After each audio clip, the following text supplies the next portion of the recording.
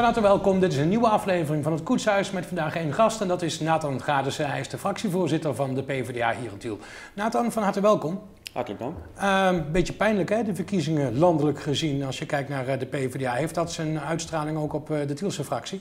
Nou ja, het is inderdaad een hele pijnlijke uitstraling. En ja, hij heeft uitstraling op de Tielse fractie. Natuurlijk, de hele fractie die baalt van, van zo'n uitslag. negen zetels is super weinig natuurlijk. Dus ja, wat dat betreft heeft wel de impact. Maar um, vooral vlak na de verkiezing had dat impact. En voor de rest gaan we gewoon onze uitstekende uh, best doen om uh, van Tiel wat moois te maken natuurlijk. Wat, ja. dat betreft hebben wij, zitten wij in de gemeenteraad en gelukkig niet uh, in de Tweede Kamer op dit moment. Denk je dat zeg maar, het, de, hoe, hoe, de PvdA gehandeld heeft, zowel lokaal als regionaal als landelijk, ja. ten opzichte van het volk, hè? de mensen die nu bijvoorbeeld ook kijken, ja. Ehm, dat dat niet goed begrepen is of wordt? Um, ja, niet goed Als je even de vinger op de pijnplek legt, ja. verklaar. De, de, kijk, dat, die verklaring dat vind ik altijd heel lastig. Je ziet nu allemaal in de media allemaal mensen uh, vlak na de verkiezingen komen, allemaal PvdA's die zeggen allemaal een verklaring te hebben. Ik vind dat we daar vooral met elkaar en intern over moeten hebben en moeten kijken hoe we er weer voor zorgen dat de PvdA weer boven Jan komt. En, en ja, je hebt nou, er niet zo heb heel veel aan. op? Um, nou, wat, het, wat ik een goede eerste stap vind, is, uh, is op dit moment een club van, ik geloof, een hele grote club van jonge PvdA'ers onder de 35, die, hebben, die wat, wat suggesties hebben gedaan om uh, in ieder geval de, de PvdA van, zeg maar, de, de, de, de, de bijeenkomst van de PvdA zelf te verbeteren. En dat vind ik op zich een goed, goed initiatief. Ja, jij kunt ook zeg maar uh, van binnenuit kijken, hè? want landelijke ja. um, um, congressen en zo heb je natuurlijk ook meegemaakt. Uh, ja, niet moet... veel eigenlijk gezegd. Tenminste, maar, maar, maar dan, je moet wel gevoeld hebben van hé, hey, dit gaat de verkeerde kant op, of niet? Uh, dat heb ik wel eens gevoeld in de aanloop naar Hoe kijk jij bijvoorbeeld aan tegen uh, de voorzitter die dan nog tot oktober blijft? Maar, en, ja. misschien meteen opgestapt, hè? ik heb het over Spekman. Ja, ja um, op zich, ik snap wel dat hij tot oktober... Ik, ken, ik moet zeggen, ik ken het verhaal niet. Ik weet niet precies waarom hij tot oktober blijft. Maar ik kan me er wel iets bij voorstellen. Want, Geef eens een goede uh, reden. Nou, op dit moment heb je dus ook mee te maken dat uh, we hebben minder inkomsten. Je hebt minder Tweede Kamerleden. En, en Tweede Kamerleden moeten ge, afdragen. afdragen aan de partij. En daar wordt partijkantoor van betaald en de mensen die daar in dienst zijn. Je hebt, je hebt gewoon ook je hebt minder fractieassistenten nodig. Dus er zullen waarschijnlijk mensen uit moeten.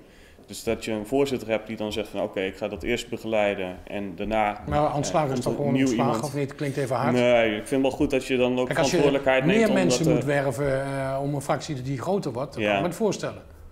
Uh, nee, want ik vind het eigenlijk wel goed dat iemand dan ook blijft om dat proces goed te begeleiden. En dan kan een nieuw iemand, die kan vanaf oktober weer de zaak op gaan bouwen. Oké, okay, maar de gemeenteraadsverkiezingen komen eraan. Ja, dat klopt. Naar mijn mening moet die PvdA zo snel mogelijk zorgen dat ze een nieuw, in ieder geval een duidelijk nieuw gezicht krijgen. Dat gaat niet als natuurlijk voorzitter. met de, uh, ja, in zijn algemeenheid, daar hoort de voorzitter bij. Ja, maar dat vind ik het verpand. Kijk, als je, als je kijkt van wie is nou de voorzitter van, van... Ik zou niet weten wie de voorzitter van D66 is. De voorzitter van de VVD heb ik toevallig laatst op tv een keer gezien. Ja. Maar ik weet zijn naam echt niet. Nou, maar dat geeft al wat aan. Eigenlijk Het moet- geeft ja, natuurlijk al wat aan dat, dat men hem uh, ook als een zondeboek uh, neerzet, hè? Met zijn nou, dat, truitjes en niet, zijn, uh, dan niet alleen. Hij was, ook zijn rare uitspraken. hij was ook heel erg aanwezig. Ja. En de vraag is of je een voorzitter moet hebben die, die heel erg aanwezig is... of iemand die op de achtergrond zaken regelt. Ja, maar goed, die man die dus uh, uh, aanwezig is, uh, nadrukkelijk, Ja. die zit er nog tot oktober. ja, klopt. Maar je weet ook dat hij daarna weg is. Dat, dat is en dat, dat geeft dus tijd om, om weer structuur te geven Ja, aan, eh, precies. laten we maar zeggen, PvdA 2.0. Ja, zo, zo zou je het kunnen Ja. noemen natuurlijk. Geef een Ja, ook zo'n uitspraak als eh, wat Plasterk gedaan heeft. Hè? Van, dat hij zegt van nou, laten we maar eens gaan eh, samen werken. Of in ieder geval kijken of we die partijen zoals eh, PvdA en GroenLinks bij elkaar kunnen, Ja, kunnen ja. knopen als het ware. Dat zijn toch rare uitspraken. Ja, dit vind ik ook. Ik, dit- ik hou daar niet zo van. Kijk, het was, de timing was ook raar. hè. Je had op woensdag waren de verkiezingen en op zaterdag heb je dan een congres. Dan zou je zeggen van nou, als je het ergens wil, Ja, of een ledenraad, als je het in ieder geval niet met één lijn. Nee, maar, maar breng het dan daar. stem. Breng het dan op die ledenraad. Ja. Maar dan gaat hij het op maandag in de krant zetten. En Hoe zit dat in Tiel, eh, de PvdA en GroenLinks? Zou dat bij elkaar passen? Ehm, dat, we denken over, regelmatig over wat dingen hetzelfde, dat klopt. Maar ja, weet je, ik vind dat je daar, ik vind dat je daar wel een, een, een goed verhaal bij moet hebben, zeg maar. Ik zou dat niet zomaar bij elkaar brengen. Nee. Dus dat eh, kunnen we voor de komende verkiezingen nog niet verwachten. Uh, dat denk ik niet. Nee, ja, kijk, uiteindelijk moeten de, er zouden dan de leden van de PvdA en GroenLinks uh, een uitspraak over moeten doen, volgens mij. Tenminste, bij de PvdA werkt het zo dat de leden daarover een uitspraak zouden moeten doen. Die moeten zeggen van zus en zo gaan we deelnemen mhm. aan de verkiezing.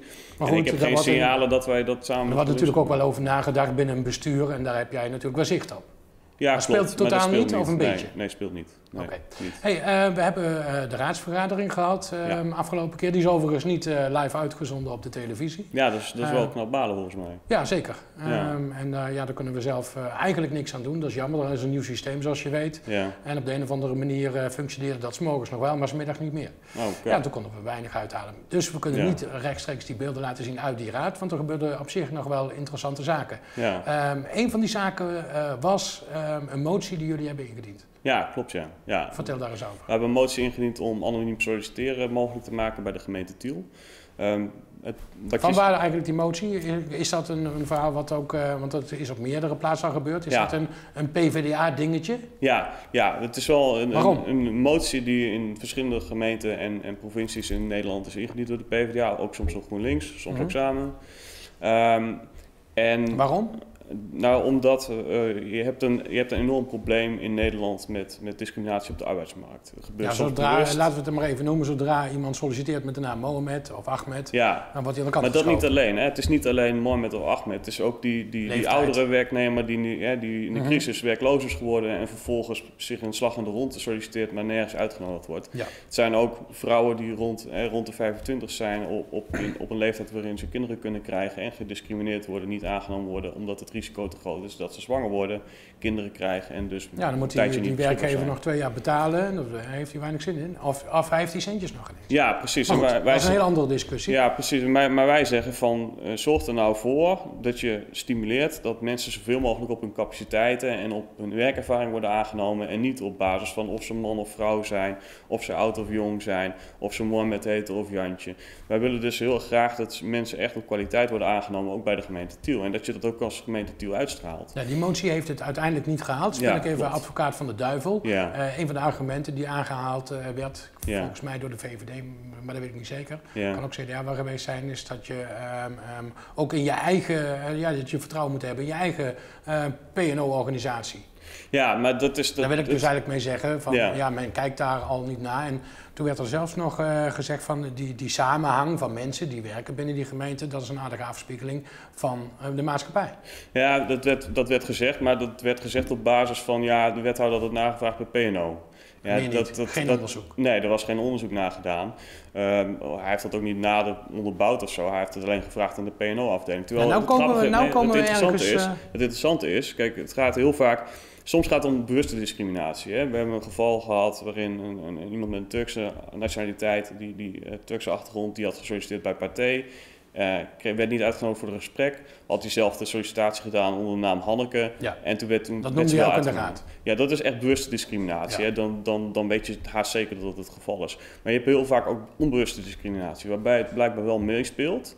Waarbij mensen wel. Eh, kijk, iedereen, iedereen, heeft, iedereen heeft heeft bepaalde beelden bij groepen, heeft mhm. bepaalde vooroordelen.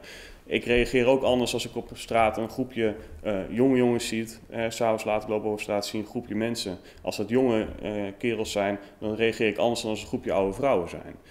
Dat, dat is op zich ook, er is ook weinig mis mee. Alleen als het een rol gaat spelen in een sollicitatiegesprek, dat soort beelden, dan kan dat tot gevolg hebben dat je niet de beste aanneemt maar dat je selecteert op andere criteria. En dat moeten we zien te voorkomen, ook als gemeente Tiel. En wat raar is, er is een experiment in Den Haag geweest. Daar bleek dus ook dat uh, uh, op het moment dat je anoniem solliciteren invoert, dat er meer mensen met een niet-westerse achtergrond solliciteren op je functie. Dat er ook meer mensen doorgaan naar de eerste ronde, hè, mhm. met een niet-westerse achtergrond. Helaas hebben ze niet gekeken naar de verhouding man-vrouw. Daar hebben ze wel in andere landen naar gekeken, in Duitsland en Zweden. Daar bleek het ook beter te zijn, dat er meer vrouwen doorgingen, meer vrouwen solliciteerden en meer vrouwen doorgingen naar een gesprek. Dus dat, dat werkt allemaal positief. Uh, en het feit dat dat bij de gemeente Den Haag, dus niet in Den Haag bij alle uh, werkgevers, maar echt puur bij de gemeente, waarbij je toch ook zou zeggen van daar zal weinig bewuste discriminatie plaatsvinden. Het feit dat daar meer mensen werden uitgenodigd met die niet-westerse achtergrond, meer mensen ook op gesprek gingen naar en meer mensen solliciteerden, meer mensen werden doorgestuurd naar de, naar de, naar de gespreksronde. Nou, jij dat zegt al wat over van mhm. eh, dat, dat uh, blijkbaar onbewuste discriminatie, hè, beelden die mensen in hun hoofd hebben, ja, dat is, daar, dat, is daar, dat is daarmee vastgelegd. Ja, en, en, um, even maar terug naar die raadsvergadering. Ja, vertel even, nog, nee, even nog één punt maken. Ja, Kijk, de, de, de, de wethouder die vraagt dus bij de, bij de afdeling, dat is ook het absurd, die vraagt bij de afdeling PNO, speelt het in Tiel ook? En zij zeggen nee. Maar het gaat om onbewuste discriminatie. Ja. Dat, dat kan je vragen aan afdeling PNO. Maar als dat onbewuste discriminatie is, dan zullen ze dat niet weten van zichzelf. En de discussie die vervolgens uh, in die raad ontstond met, met de wethouder... Uh, daar werd jij op een gegeven moment emotioneel. De wethouder die, die suggereerde dat onze motie opriep om de bestaande, de, ambtelijke organisatie van Tiel, om die in te gaan delen in hokjes. Ja, en dat was absoluut niet het geval. Kijken naar etnische afkomst. Ja, en, dat, dat, raakte jou? Dat raakte mij, ja, want ik ben daar absoluut, ik zit er niet op te wachten om te kijken van, om, om die, die mensen nou in te delen in, in hokjes. Ehm, want dan, ik vind dat ook een hele andere situatie. Dat je als werkgever, dus als, als, uh, als, uh, als bestuur van, van de ambtelijke organisatie, als wethouder, gaat vragen van, of eigenlijk mensen gaat dwingen om zichzelf in hokjes te gaan stoppen. Daar zou ik absoluut op tegen zijn. Dat stond ook helemaal niet in de motie, was helemaal niet aan de orde. Nee, waarom haalde hij dat er wel bij? Omdat hij blijkbaar dacht dat het in Den Haag gebeurd was, maar ook dat klopte niet. Nee. Hij, en hij bleef dat volhouden. En was daar de wethouder aan het jokken? Nou Jokke, ik, weet niet, ik, weet niet of hij zich, ik weet niet of hij zich vergist of hij het verkeerd gelezen had, maar ik vond wel vervelend dat hij het bleef volhouden. Ondanks dat ik zei van u heeft er ongelijk en dat is in Den Haag niet gebeurd, hij bleef dat volhouden. En of hij zich nou, of hij nou een verkeerd beeld in de hoofd had, maar daar kan ik niet zo goed tegen, want dat vertroebelt de discussie over. Dat creëert mist in zo'n discussie. Het is net alsof wij iets gevraagd hebben wat helemaal niet aan de orde is. En daar kan ik niet goed tegen. En goed, eh, dat, dat, moet ik ook niet doen. Ik moet dan niet emotioneel worden en boos worden. Maar ik kan niet goed tegen als zo'n debat niet zuiver wordt gevoerd.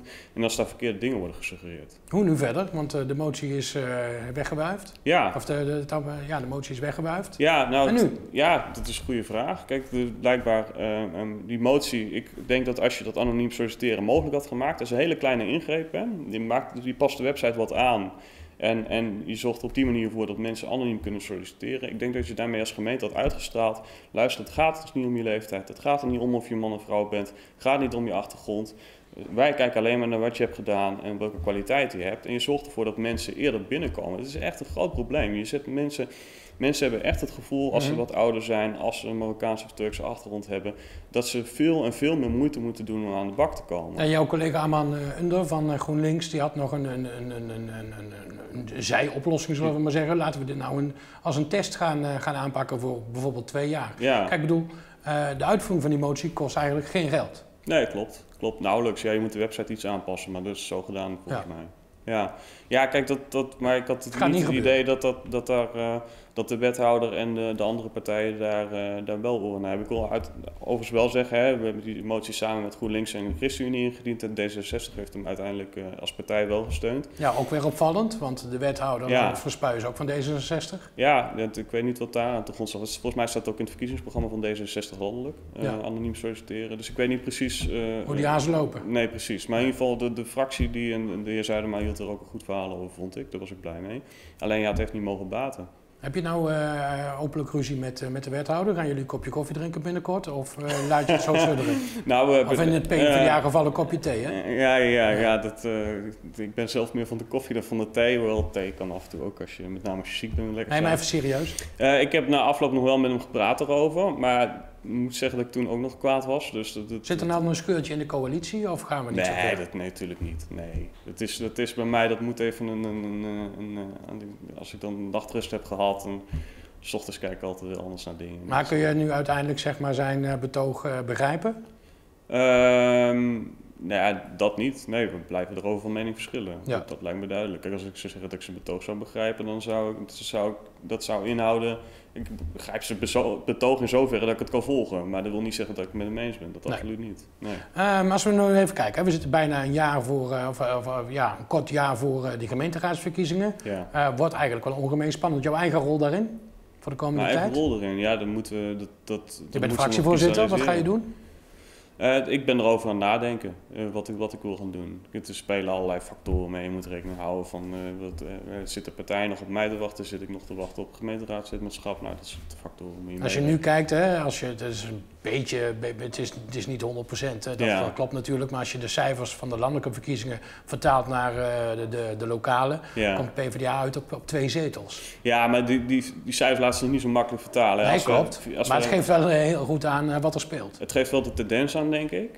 En het geeft aan dat we aan de bak moeten, maar dat, moet je altijd voor de gemeenteraadsverkiezingen. En je moet goed kunnen uitleggen wat heb je nou gedaan en wat wil je gaan doen de aankomende periode. Ik moet wel zeggen dat vier jaar geleden bij de gemeenteraadsverkiezingen, als je kijkt, ik geloof dat er, eh, van, van de, van de 400 mhm. gemeenten in Nederland, waren er maar 30 waarin de PvdA het beter deed dan in Tiel relatief gezien. Ja. Dus ik denk dat wij in Tiel wel uh, op gemeenteraadsniveau het wel relatief goed Maar ga jij daar onderdeel van uitmaken om, uh, om ervoor te zorgen hè, dat die PvdA 2.0 weer op de, kaart komt te staan? ga je er onderdeel van uitmaken? Dat absoluut. Ik blijf sowieso, ik wil sowieso de aankomende uh, periode ook nog voor de partij beschikbaar zijn. Ik weet alleen nog niet in welke rol. In de zin van als wethouder zijn of als fractievoorzitter of als raadslid? Of als raadslid, of als commissielid, of als bestuurslid. Dat kan allemaal natuurlijk. Uh, ambieer je een rol als uh, wethouder? Nou, ik moet er echt over nadenken. Ik weet nog niet. Uh, ik heb, uh, het raadslidmaatschap in, in Tiel is altijd een, een bijbaan. Hè? Dus ik, ben, ik heb een, gewoon een reguliere baan. En uh, als bijbaan heb ik het raadslidmaatschap. Mm -hmm. ik, en ik heb, bin, ik heb pas een nieuwe baan gekregen uh, voor mijn reguliere Ja, en daar hou je, daar, en daar hou je van, hè? Ja, ik vind het geweldig om te doen. Ik, je werkt op het provinciehuis in, in Brabant? Ja, klopt ja. En ik vind het ja, fantastisch om daar te werken. Ik kan daar mijn energie meer dan kwijt.